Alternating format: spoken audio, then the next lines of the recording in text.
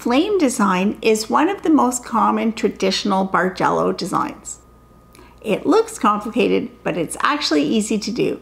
Today, I'm going to show you how.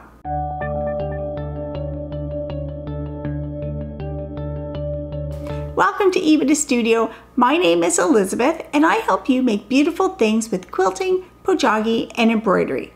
So if you're just getting started with Bargello, feel free to check out my other videos which talk about um, fabric and thread combinations and how to get started stitching and some simple stitching designs. But a flame stitch is one of the most popular traditional stitches.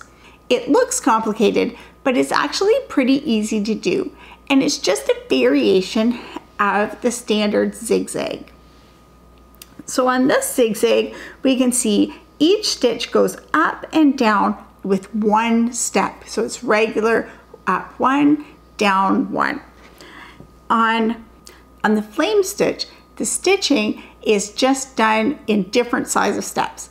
So let's get stitching and I'll show you how to do it.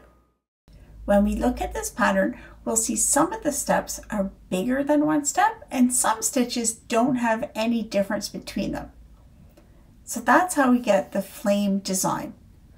So just like in my other Bargello tutorials, we're going to start in the center column and that just helps make sure our design is centered on the piece. I'm taking my stitches over three holes in the canvas. Second stitch is down two steps from the first stitch. Then I have down one step and then down one step again.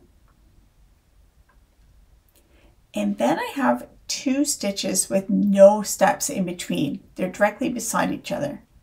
Then down one step two more times and then the final stitch is going to be down two steps.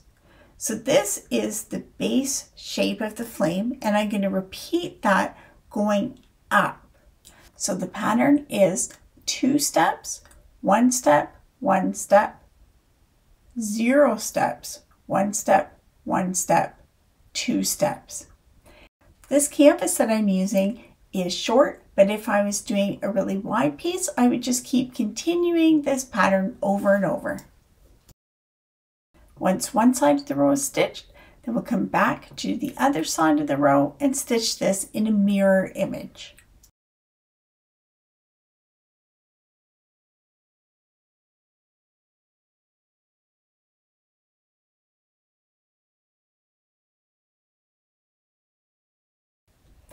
Once the first row has been stitched, that is a foundation row which is going to serve as a reference for all the other rows. Now I did manage to turn my sample over so top and bottom are in a different orientation, but for this stitching it doesn't matter which way is up. Once you get to the end of the row, then you'll fasten off your thread as usual and repeat the same process for all the other rows.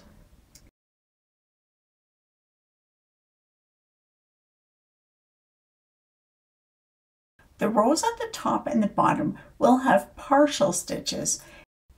You might decide to change the color of some stitches to avoid odd orphans. So that's how easy it is to do. Have fun stitching with flame stitch on your next Bargello embroidery project.